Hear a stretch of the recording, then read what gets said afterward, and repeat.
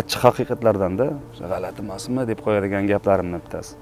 Agar sanda g'urur bo'lsa senda g'urur bo'lsa telefoningni qayerdaligini topolmaysan u paytda. Tasvirga olishga tursin men radioda ishlagan odammanda.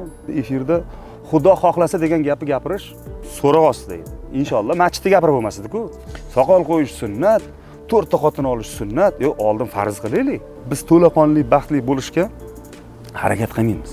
Bizni baxtli ekan deb odamlar gapirish uchun harakat qilamiz. Haqiqatni yuziga tikka gapiradigan odam nima deymiz ayting? O'ris bu deymiz. Ishga vaqtida keladigan odamga nemis bu deymiz. Ishga kech qolsa o'zbekchalik